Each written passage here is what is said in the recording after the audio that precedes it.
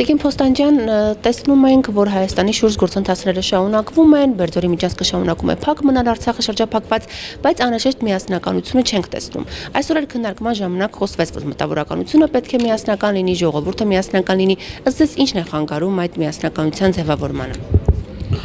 երևի շատ բաներ են խանգարում, նենց պես չէ որ միայն մի գործոն կարող ենք նշել նախ այն է, որ տարբեր քաղաքական միավորներ կաշկանդված են եւ իրենց իրենց անցյալով եւ իրենց կապերով եւ իրենց ղեկավարությամբ մեկ Երկրորդը այն է, որ այսպես դեռ այս բարագայում, այս վտանգավոր վիճակում, որ մենք հայտնվել ենք պատերազմի մեջ ենք, անձին կան, որ մտածում են, որ իրենք պետք է լինեն առաջինը, երկրորդը, երրորդը, սա նույնպես շատ վատ երևույթ է եւ պետք է գիտակցեն եւ հասկանան, որ դրա ժամանակը նույնպես չէ։ Մյուսը կարող եմ ասել, որ նաեւ հատուկ արվում է ամեն ինչ, որպեսի տեղի ունենա պարակտում, այսինքն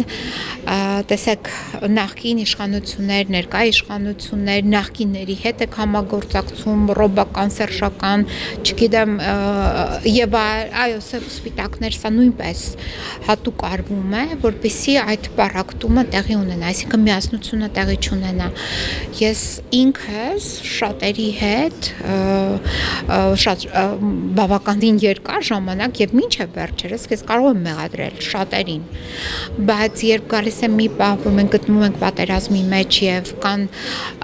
առողջ մարդիկ առողջ քննարկումներ եւ առողջ առաջարկներ ապա այդ առողջ առաջարկները քննարկումները պետք է հավանության արժանանան եւ միասնության համար նպատ, նպաստավոր պայմաններ ստեղծեն մինչդեռ հենց դա էլ անընդհատ փորձում են այդ դրանով էլ տարանջատել։ Իհարկե նաև կա քարոշչություն մի կողմից, որ թմրեցնում են մարդկանց, որ այդքան էլ ված չէ, ինչ է եղել, որ այն չանենք, որ 120.000 մարդ շրջափակման մեջ է, է ինչ է պատահել, որ 15 երիտասարդ ինչ որ միգուցե մարդիկ մտածեն, որ դա պատահական է եղել, բայց դա դիտավորություն է եղել եւ թողնեն պատահականության վրա դա ինչ անեին այդ կապիտաններ մեղավորը։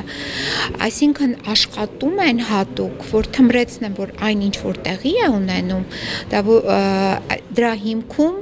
ուղակի կենցաղային երևույթներն են, որ այդ դրանց հիմքում լուրջ բաներ չկան, հետեւաբար մի մտահոգվեք, բայց իրականում ամեն շատ լուրջ է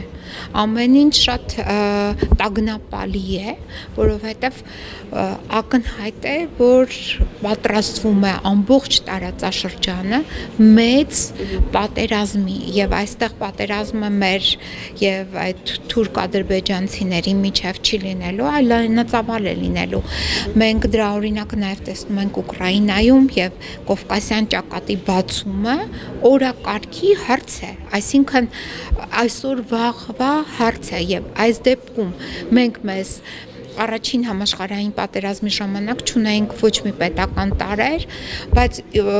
պետք է պաշտպանվենք։ Հիմա առաջին համաշխարհային պատերազմի հետ զուգահեռներ անցկացնելով ունենալով որոշ չափով 30 ամյա զինված ուժեր,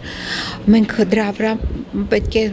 շեշտ դնենք, հիմք դնենք, ներդրում անենք եւ աշխարազորնել հետը միասին եւ պատրաստվենք, որ ոնց ենք դիմակայելու, այսինքն ակնհայտ է։ Ներդարվում են պատրաստվելու։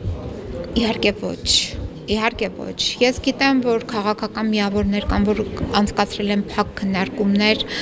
այնտեղ փորձագետները առաջարկել են, որ պետք է ստեղծվի աշխարազոր պարտադիր։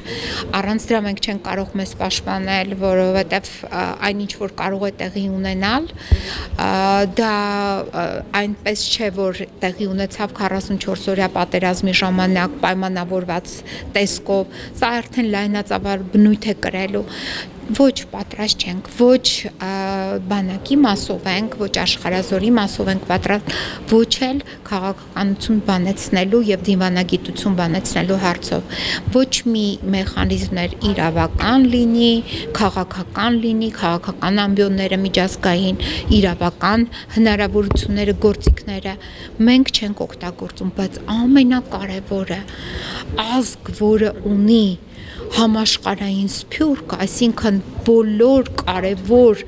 քաղաքական դերակատար պետություններում լինի միլիոնավոր մարդկանցով ներկայացված եւ այդ իր ներկայացվածությունը զենքը չօգտագործի,